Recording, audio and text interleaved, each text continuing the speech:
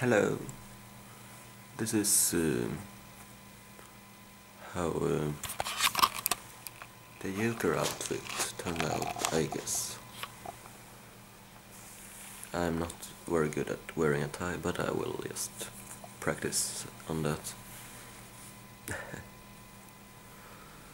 Anyways, here is the coat. And um,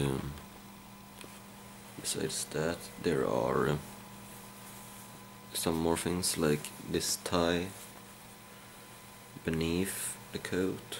There are, as I showed you in the vlog, unboxing vlog, um, there are these layers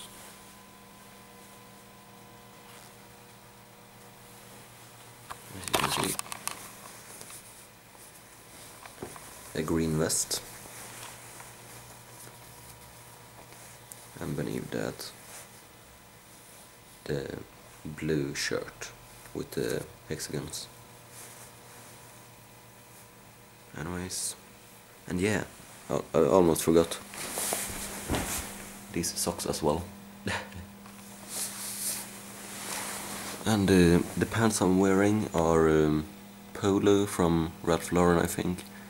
It's uh, less important. I just wanted to show you the new clothing. And uh, I'm really happy for it, so thanks Dad. In uh, It's like my birthday gift. It cost, uh, I think it was uh, $180 so pretty much in euro or Swedish kroner I guess uh, 120 euro or uh, 1200 uh, kronor. Anyways this is uh, taking too long time. And uh, yeah.